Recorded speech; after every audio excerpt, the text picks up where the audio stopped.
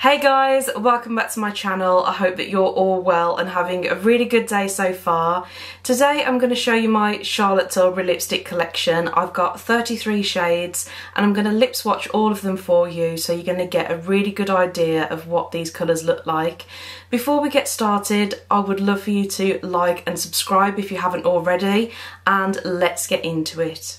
The lipsticks are one of my favourite products in Charlotte Tilbury's range and I've been using them for a few years now. I've got three different formulas in my collection. The Kissing formula, which is a high shine hydrating formula. Matte Revolution, which I would describe as a comfortable matte. And also the Pillow Talk Diamonds. This is more of a sheer formula with a gold reflect. I'm going to show you them formula by formula. Let's start with the Kissing lipsticks and this is my favourite of the three. First up we have the shade Nude Kate and this is described as a light pink tone nude. I believe this is actually named after Kate Moss.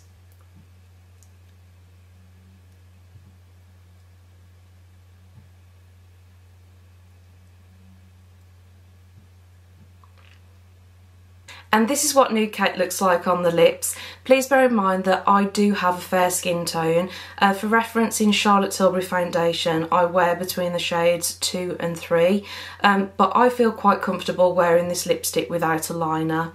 If your skin tone's a bit darker than mine and you want to pair a liner with it, Iconic Nude looks fantastic with this shade. This one is Penelope Pink and it's named after Penelope Cruz. It's described as a nude pink but to me it does look more nude than pink in the bullet. Let's see how it applies to the lips.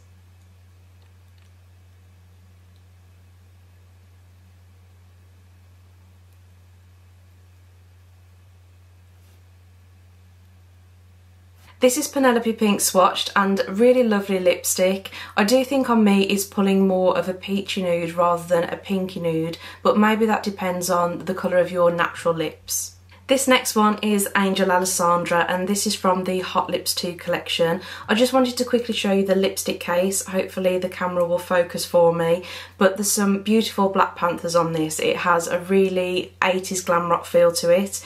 Um, this is named after Alessandra Ambrosio. I really hope that I've pronounced that name correctly and I think that she's a Victoria's Secret angel. This lipstick is described as a sunset peachy nude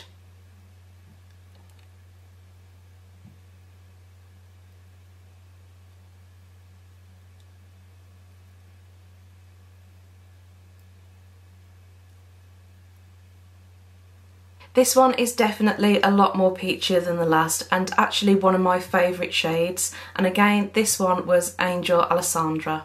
This one is Bitch Perfect and this is a nude tone peach lipstick. Again, one of my favourites. I think this one, along with Pillow Talk, was actually the first products that I ever bought from Charlotte Tilbury.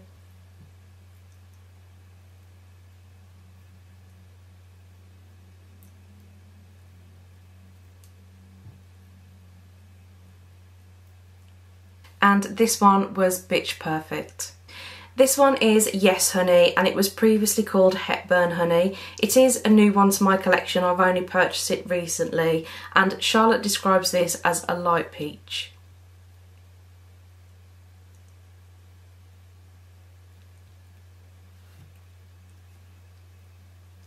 So yes, definitely does have some peach in the shade. I would say that this one is a bit deeper in tone than Angel Alessandra, but again, really lovely lipstick and I really like this shade. Next we have JK Magic and this is a peachy rose nude. It's part of the Hot Lips 2 collection and named after JK Rowling. Um, I do love this lipstick, it's one of my very favourite shades and I wear it very very often.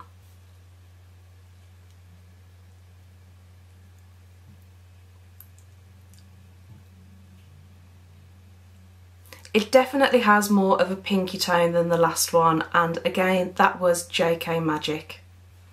This one is the shade Kim KW and it's described as the perfect nude. I've already panned one of these lipsticks. This one is a repurchase for me so obviously I am in love with this shade.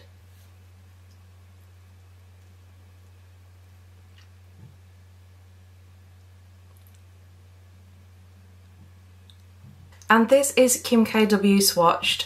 I would describe it as more of a pinky nude. Um, it is quite a light lipstick. As I say, it looks light on my skin and I'm very fair.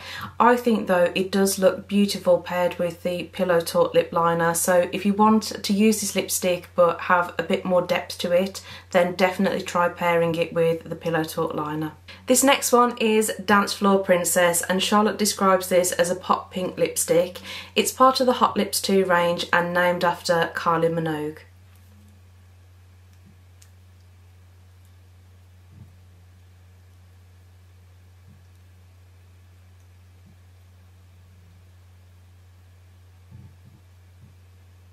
I love, love, love this shade and when I'm wearing a cool toned eye look especially, this one is my go-to shade.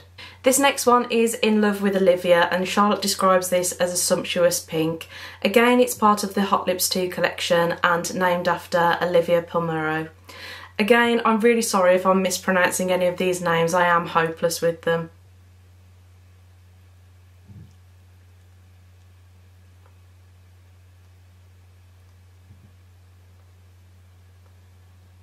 And this is In Love with Olivia Swatched. Definitely a much deeper pink than some of the others that we've just seen. Another Hot Lips 2 lipstick and this one is Carina's Star. It's described as a modern peach soft coral and it's named after Carina Lau.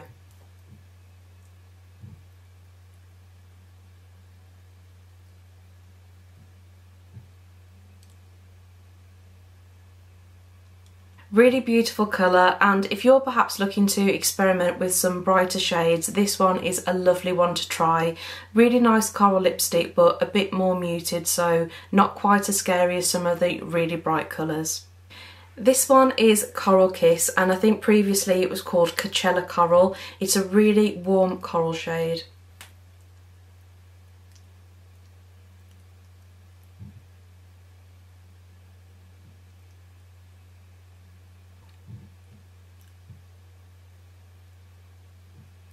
This one is a beautiful shade and when I wear it I feel like it really lifts up my mood. It's a beautiful corally pink tone and I'm really pleased that I've got this one in my collection. Next I have Hot Emily and this is a really bright coral. I think this one is named after Emily Blunt.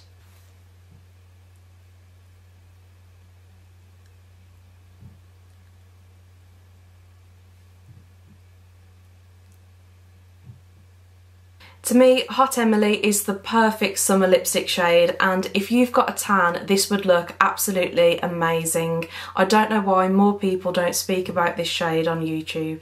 Next up is So Red and I think this one was previously called So Marilyn after Marilyn Monroe. It's the perfect true red lipstick.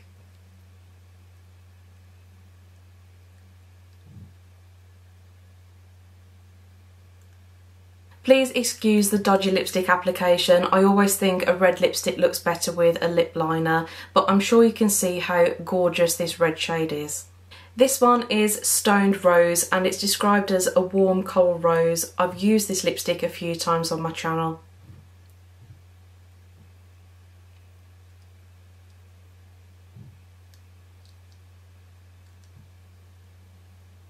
And this is Stoned Rose swatched. I think this shade would look very flattering on quite a wide range of different skin tones. Next we have the shade Nude Romance and this is from the Look of Love collection. You can see how beautiful this packaging is. And Nude Romance is described as a universally flattering peachy nude.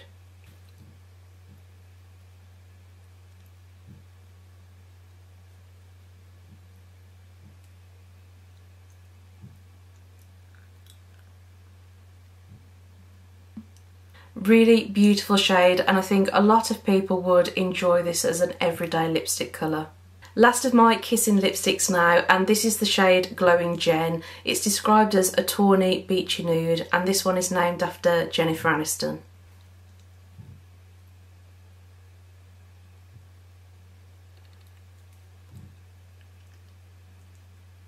A really beautiful rich shade and I know that I will be reaching for this one a lot in the autumn months. Moving on to the Matte Revolution formulas now and the first one is Cover Star. This is described as a nude muted apricot and it's part of her new Super Nudes collection.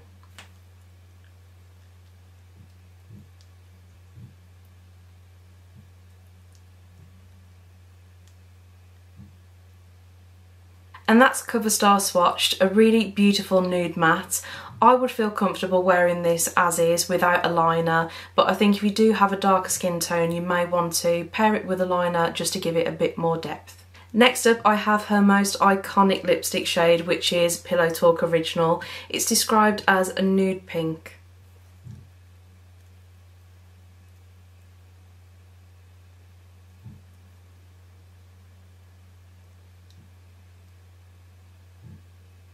This shade is flattering on so many different skin tones but she does have a Pillow Talk Medium and a Pillow Talk Intense in her range now so if you want this type of colour family but in a deeper tone definitely check those two shades out.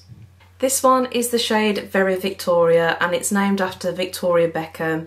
It's described as a taupe nude matte.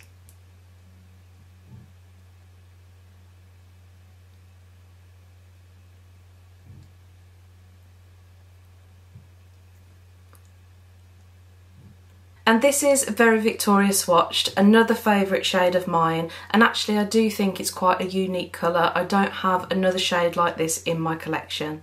Next up is Catwalking and this is described as a neutral nude peach. This one is also part of her Super Nudes collection.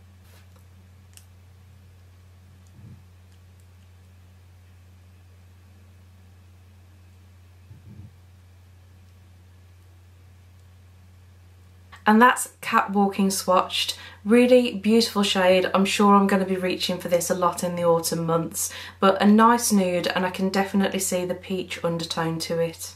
Another one from her Super Nudes collection and this one is Supermodel. It's described as a mid-toned muted nude rose.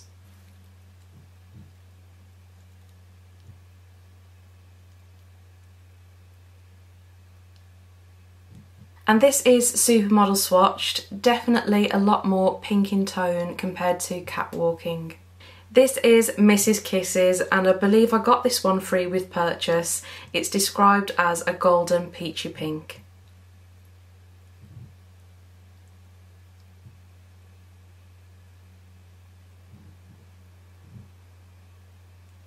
I agree that Mrs Kisses is a golden peachy pink. It's a beautiful, warm, mid-toned nude.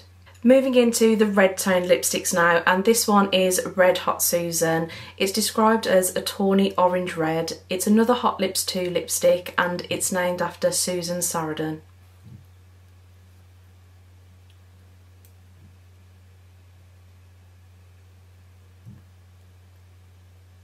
This one is another lipstick shade that I do really love. I think that it's a really unique colour and I definitely don't have another shade like this in my collection. I love that sort of orangey tone to the lipstick and I think that it really brings out the green in my eyes. This one is Tell Laura and it's a beautiful orange red. It's named after Laura Bailey and part of her Hot Lips collection.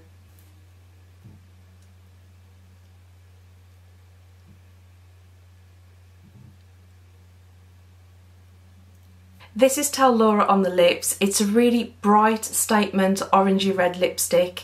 If you're a fan of MAC's Lady Danger, then you will absolutely love Tell Laura.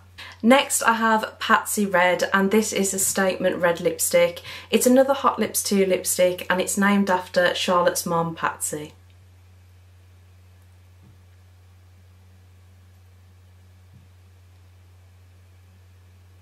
It's a really gorgeous shade of red and I would say this has more of a pink undertone to it compared to some of the other red shades that we've seen.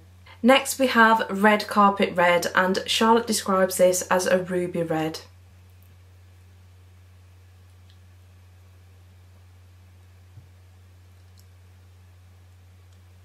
I would definitely agree with the description and this shade really reminds me of those 1950s old Hollywood red carpet looks. Moving into more berry toned lipsticks now and this one is Walk of No Shame which is described as a berry rose matte.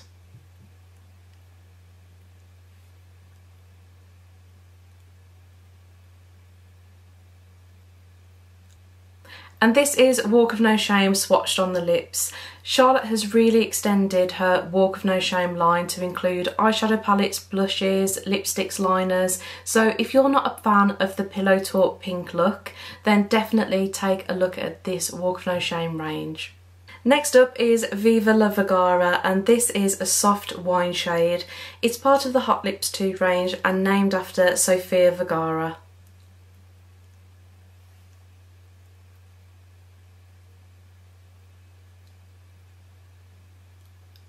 Really beautiful rich shade. I could see my mom reaching for a shade like this in the evening to wear out for dinner and I've certainly seen Sofia Vergara wear a shade like this on the red carpet. Another Hot Lips 2 lipstick next and this is Amazing Amal. It's a soft berry pink and it's named after Amal Clooney.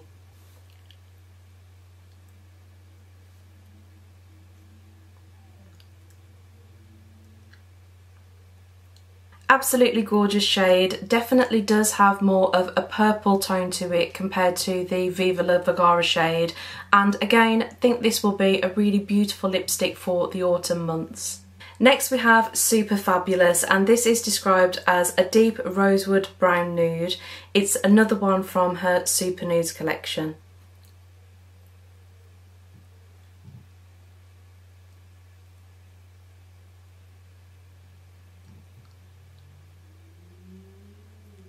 This colour is really beautiful. You can see the brown undertone, you can see the rosy undertone to it as well. It reminds me a lot of MAC's Whirl. I think I mentioned that in my Super Nudes review and if you've not seen that I will link it in the description box below. But if you're a fan of that sort of 90s brown grungy lip, I think you would really like this shade. And the last Matte Revolution lipstick I have in my collection is Pillow Talk Medium and this is described as a warm berry pink.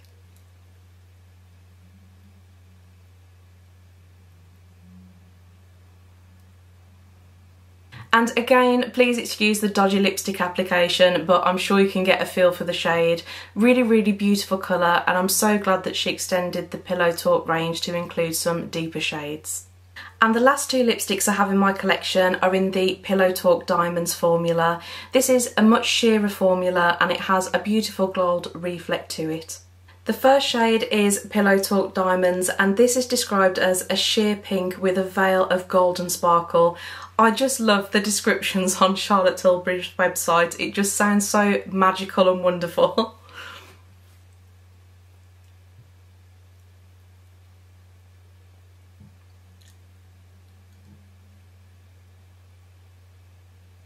really pretty on the lips and I would say this is quite a frosty formula. Um, I am aware of the reflex. When I press my lips together it does feel a little bit gritty but it's not uncomfortable in any way. And last but not least we have Lucky Diamonds and this is described as a bronze coral pink with a veil of warm golden sparkle.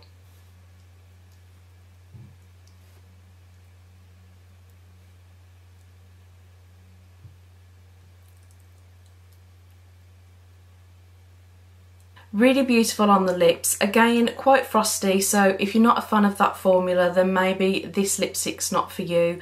But I think if you had a tan especially, or a darker skin tone, this lipstick would look amazing with some bronzy toned makeup.